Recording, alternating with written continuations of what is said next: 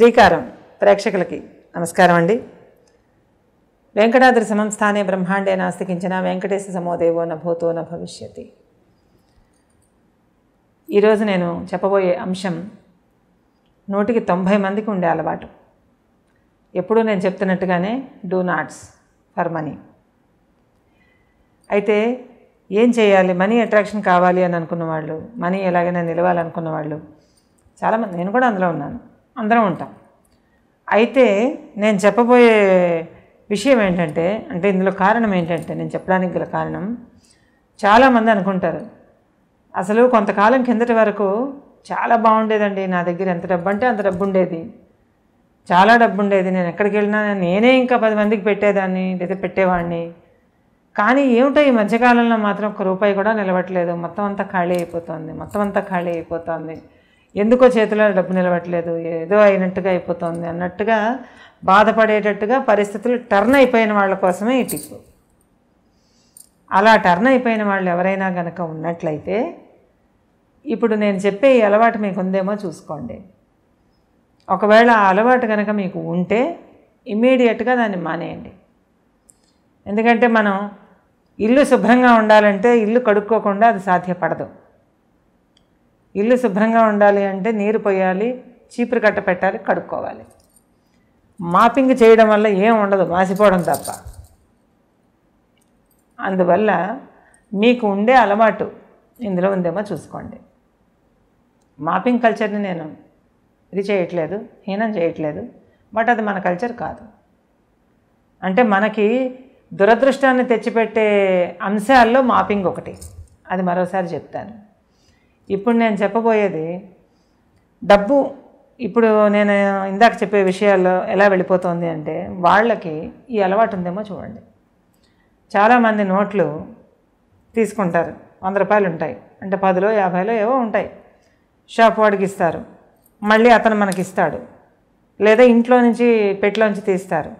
తీసి టక టక టక పేక ముక్కలు లెక్కెట్టినట్లు ఎక్కడతారు ఆ అలవాటు ఉంటే ముందు బంద్ చేసుకోండి.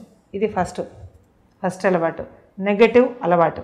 నెగటివ్ హ్యాబిట్ ఏంటి అని అంటే చాలామందికి ఉంటుంది అలవాటు. ఇలా డబ్బు ఇలా చేత్తో పట్టుకుంటారు. పట్టుకుని పేక ముక్కలు ఎంచినట్టుగా టక టక టక టక ఎంచుతూ ఉంటారు. కానీ మీకు అర్థం కాని విషయం ఏంటంటే అలాగా చేసినప్పుడు ఒక రకమైన సౌండ్ వస్తుంది. కాగితాలకి అంటే నోట్లకి. కొత్త నోట్లైనా పాత నోట్లైనా సక్ సక్ సక్ సక్ మన సౌండ్ వస్తుంది. అవునా? అలా సౌండ్ వచ్చేటట్టుగా ఇలా ఇలా ఇలా ఇలా ఇలా చాలా ఫాస్ట్గా లెక్కెడతారు. నాకు కూడా రాదు ఇలా లెక్కెడడం వస్తారు.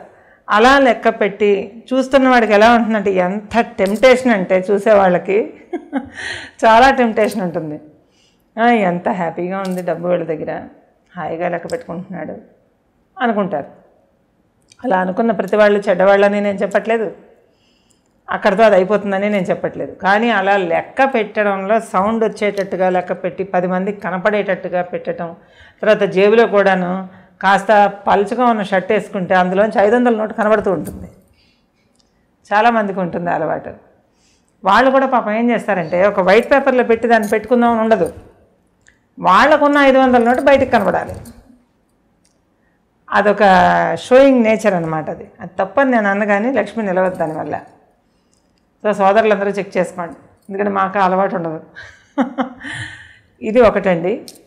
రెండోది ఇంకా నెగిటివ్ అలవాటు. అది ఏంటి అని అంటే నోట్లు చేతిలో పెట్టుకొని లెక్క పెడుతున్నప్పుడు నాలుగుతో పెట్టి ఎంచుతూ ఉంటారు.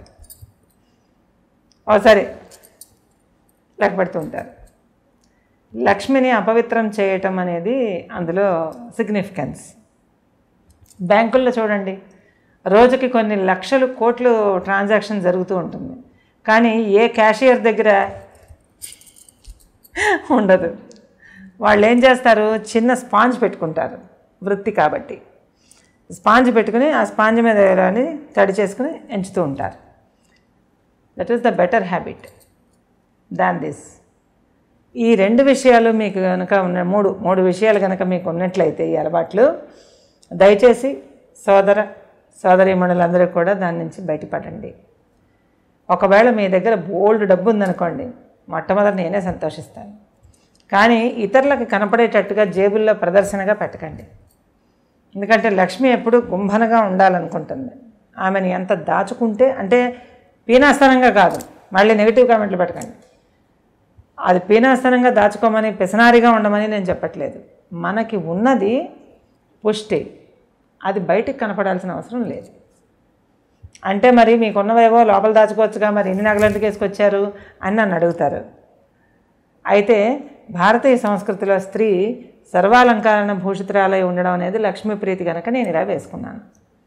అంతకు మించి ఇంకేమీ లేదు. కానీ పురుషులు కానీ ఎవరు కానీ డబ్బులు కనపడేటట్టు పెట్టుకుంటే కంటి దృష్టికి గురవుతారు. అలాగే శబ్దం వచ్చేటట్టుగా కౌంట్ చేయటం వల్ల ఇతరుల దృష్టిని ఆకర్షిస్తారు. అలాగే నాలుకతో తడి చేసుకుని నోట్లు లెక్క పెట్టడం వల్ల లక్ష్మిని అవమానించిన వాళ్ళు అవుతారు. ఎంగిలి అవమానించిన వాళ్ళు అవుతారు.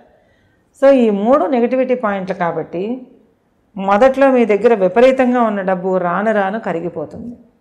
ఎందుకంటే ఇన్సల్ట్ చేసిన వాళ్ళ దగ్గర ఉన్నాం కదా మనుషులమే ఉండము అటువంటప్పుడు అత్యంత వైభవపేతంగా ఉండే లక్ష్మీదేవి ఎందుకు ఉంటుంది ఇండియన్ కల్చర్ ప్రకారం.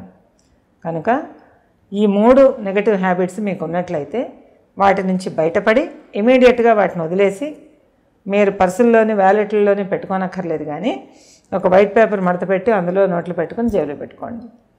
అలాగే లెక్క పెట్టినప్పుడు ఒక ముఖ్యమైనటువంటి సూత్రము అంతఃసూత్రం ఏంటంటే రెండో వాడికి కనపడకుండా లెక్కెట్టుకోవాలి డబ్బు ఎప్పుడు కూడా. ఏమండి? రెండో వాళ్ళకి అంటే చూసే వాళ్ళకి కనపడకూడదు. డబ్బు అనేది చాలా పాపిస్ట్ ఇది అంటే మంచిది కాదని అర్థం కాదు. చాలా పాపపు ఆలోచనలకి కేంద్రం డబ్బు.